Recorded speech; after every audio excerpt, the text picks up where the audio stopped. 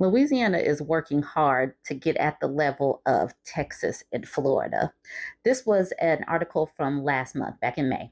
Louisiana becomes the first state to require the Ten Commandments to be posted in classrooms. Louisiana will become the first state to require that public universities and K 12 schools display the Ten Commandments in every classroom after the Senate voted overwhelmingly to push forward the new legislation on Thursday. And like I said, this was last month. Following a short debate, lawmakers voted 30 to 8 to approve House Bill 71. All no votes were Democrats, though a few Democrats voted in favor of the proposal. The purpose is not solely religious, Senator Jay Morris, Republican from West Monroe, told the Senate. Rather, it is the Ten Commandments, historical significance, which is simply one of many documents that display the history of, of the country and the foundation of our legal system authored by Representative Dodie Horton, Republican from Haughton, HB 71 has been the center of controversy in recent months amid concerns the pro- um, proposal violates the First Amendment, which prohibits the government from establishing a religion. Senator Royce um, Dupl- Duplessis, Democrat from New Orleans, who identified himself as a practicing Catholic, was the only lawmaker to speak in opposition of the legislation on Thursday. He said, I didn't have to learn the Ten Commandments in school. We went to Sunday school. You want your kids to learn about the Ten Commandments? Take them to church. Duh. He added that the bill could potentially open up the state to lawsuits. We're going to spend valuable state resources defending the law when we really need to be teaching our kids how to read and write. I don't think this is appropriate for us to mandate. Horton has previously defended her bill saying a um, saying during a House debate last month that the Ten Commandments are a basis of all laws in Louisiana, and arguing that the legislation honors the country's religion religious origins. I'm not concerned with an atheist. I'm not concerned with a Muslim, she said when asked about teachers who might not subscribe to the Ten Commandments. I'm concerned with our children looking and saying, looking and seeing what God's law is. The bill must be uh, next signed by the governor before it becomes a law. Its passage highlights the increasingly blurry divide between church and state that's become more common in several Republican led states. At least one other state, Utah, is also considering legislation that will require schools to display the Ten Commandments in classrooms. Texas proposed a similar bill in 2023, but it failed to receive a vote by the House before a crucial deadline. Last year, Horton successfully shepherded a bill requiring classrooms display the U.S. motto, In God We Trust, while at least 17 states now require or allow the phrase to be used in school buildings. Louisiana was the first to require it in every room. These people want a theocracy, and we're seeing it at every step. They have a game plan that they are they're executing. They're executing this game plan. And the people that keep on wanting to say Democrats and Republicans are the same, no, this is a theocracy. They simply want a rule based on their Bible and they don't care. Like that woman says, she does not care if people are atheists, Muslim, any other practicing religion, or people that don't want religion at all. They don't care that they could go to church and get this stuff. No, they want to they want to impact everybody's life, even if they don't share the same beliefs. Now, let's bring it back to Texas. like I said, all of this is interconnected. All of these forced birther Christo fascist states are pretty much doing the same thing. They want a theocracy. So, this is out of Texas. Some Texas school officials are skeptical that a K 12 curriculum with Christian influences is the lifeline state leaders promise. Texas education officials and Republican lawmakers say proposed elementary school lessons that incorporate extensive biblical references will boost student achievement and save teachers time from developing their own curriculum. But some school some Texas school district leaders, parents and education advocates aren't convinced things are so clear-cut. The Texas Education Agency last week released thousands of pages of instructional materials that make up a proposed elementary school curriculum that drew immediate criticism for infusing religion, particularly Christianity, into public schools. If the State Board of Education adopts the curriculum, school districts um, that use it could get an additional $60 per student in state funding. While the financial incentive would entice some district leaders to consider the state's lesson plans, some say they are already satisfied with the current curriculum, and superintendents said district employees will need time to weigh whether the content adds value for their students, especially if they include biblical references that raise questions about church and state separation. The law is clear cut to us. You don't teach your students a particular religion, said Stan Surratt, superintendent of Lindale Independent School District, which sits in conservative Deep East Texas. You can talk about different religions, but we don't teach Christianity to our students. The materials feature Christian references throughout the kindergarten through fifth grade lessons. References include the parable of the Good Samaritan in social studies unit and the teaching of do unto others as you would have them do unto you in a kindergarten unit about fairy tales and folk tales. The materials note that the Golden Rule is a core teaching of the Bible and it comes from Jesus' Sermon on the Mount. School district leaders said they have not yet reviewed the material themselves, but that the biblical references could be cause for concern. Public schools are legally prohibited from promoting particular religious beliefs. In Texas, some public schools teach world religions to high school students, and some offer a Bible elective class in high schools. Elementary school students are not usually taught religion. Michael Lee of Booker Independent School District in Texas Panhandle in the Texas Panhandle said his students already perform well under the current curriculum. Still, the possibility of an additional $60 per student is enticing for the small rural district that has a limited budget we, we will certainly look at the curriculum, Lee said. We will look at any area to find a dollar. The new curriculum was, re- was released amid a broader push by Texas Republicans who control state government to put more Christianity in public schools. During the T- Texas GOP convention last month, delegates voted on a platform that calls on lawmakers and the SBOE to require instruction on the Bible servant leadership, and Christian self governance. Following last month's primary runoff, um, Governor Greg Abbott declared he has enough votes in the Texas House to pass a bill allowing parents to use so called school vouchers, which will let them use taxpayer money to subsidize private school um, tuition. Nationwide, most money from voucher programs have been directed to religious schools, according to a Washington Post examination. Such a measure has repeatedly failed in the House, where rural Republicans and Democrats have both voted against it.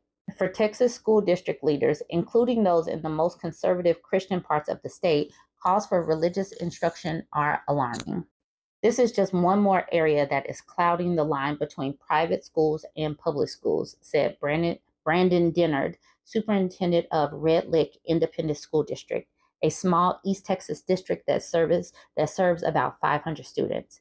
I'm a conservative Christian man, but I'm a public edu- I'm in public education because I want to serve all kids.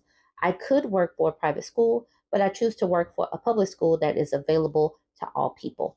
Pilot program. Last year, lawmakers entered the legislative session with a historic $32.7 billion budget surplus. Public schools administrators were hopeful that some of that money would go towards increasing teacher salaries, raising the base allotment that schools receive per student, and overhauling the school state funding formula. Public school advocates achieved none of these gains. School funding got caught up in the political battle over school vouchers. Neither vouchers nor meaningful funding increased, increasing passed. What did pass, though, was House Bill 1605, which authorized the Education Commissioner create instructional materials and approve electronic K through 12 curriculum um, to cover the, to cover the state's standards. Historically, the state has created curriculum standards or a list of information students are expected to know to pass their grade level. Districts are free to meet those standards using the materials how they see fit. House Bill 1605 does not mandate that districts use state approved lesson plans, but it offers money to those that do. Districts that opt into using resources could require their teachers use this material. So you can finish reading the rest of this page and the rest of this page if you like. But basically, you see how the GOP how they are really trying to creep into being a theocracy. Actually, they're not even trying to creep, they're just doing it. Let me know what you think. Like, people with older parents or who are older right now, this is about to really hit some folks in the pocketbook. Um, this out of Fortune says, as Americans live longer, many retirees struggle to care for elderly parents. It makes childcare look inexpensive. At a time when many have dreams of finally taking a long awaited trip or dominating the pickleball court, a growing number of retirees are instead spending much of their time and money on caring for others and risking their own financial security.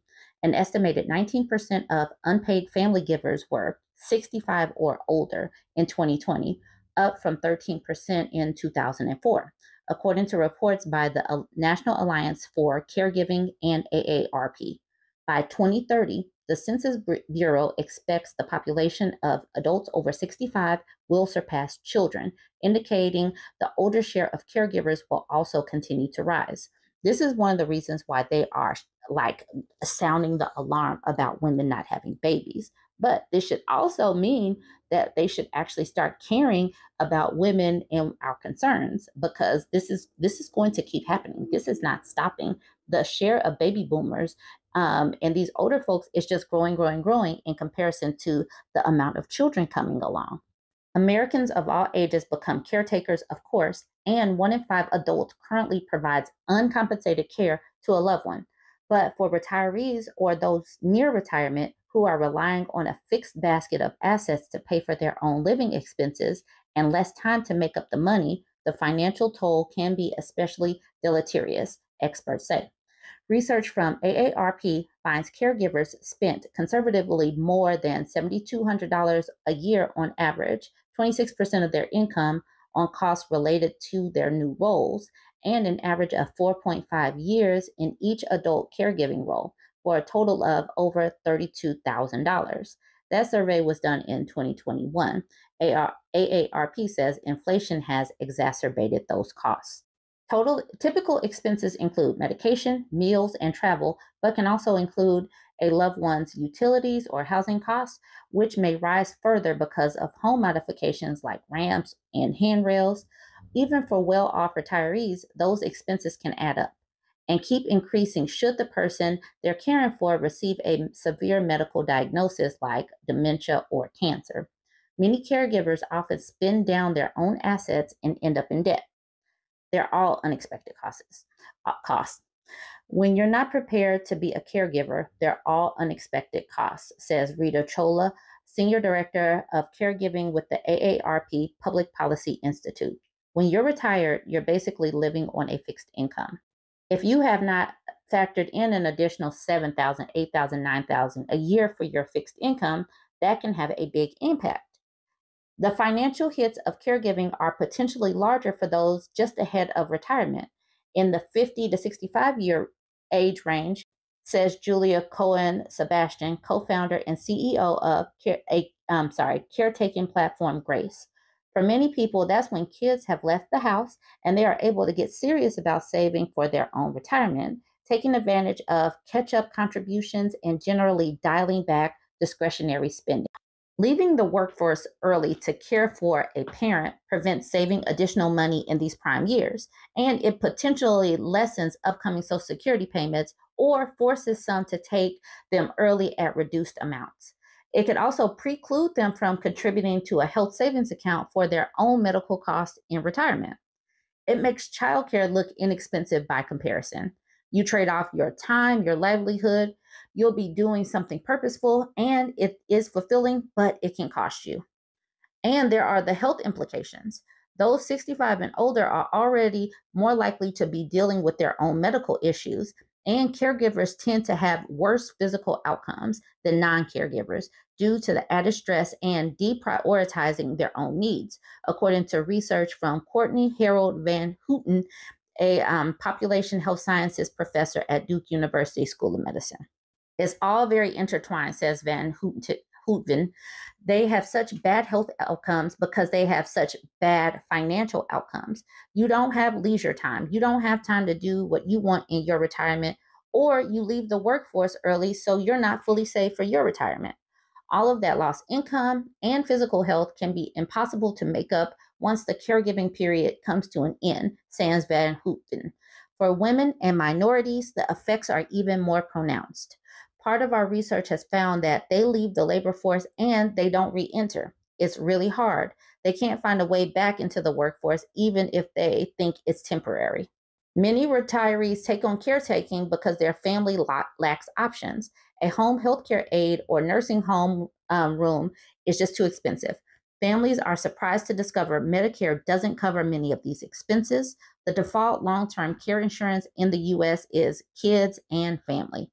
On an individual level, there isn't much one you can do to remedy these costs. Once you get older, there are fewer levers you can pull for your finances, says Anqi Chen, senior research economist at the Center for um, Retirement Research at Boston College. The work levers kind of disappear. Moving to a, lar- a lower cost of living area can get more difficult as you get older, especially difficult if you have disabilities.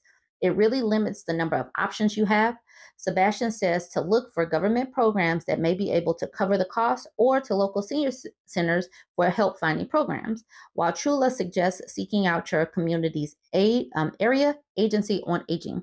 AARP is pushing for workplace policies to add flexibility for workers who are dedicated caregivers.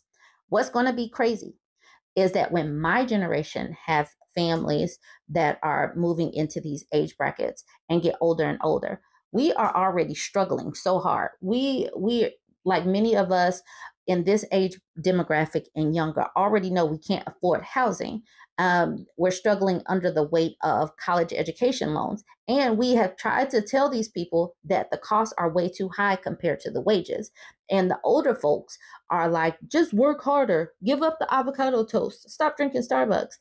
All of this crushing, um, the economy is crushing people and is going to continue to crush people. And the government is seeing what is going on. They can they can foreshadow what's going on. And the fact that women are not having babies to compensate or bring in more workers to care for these people, it's going to be a cluster F of major proportions and our country isn't ready for the silver tsunami that's coming.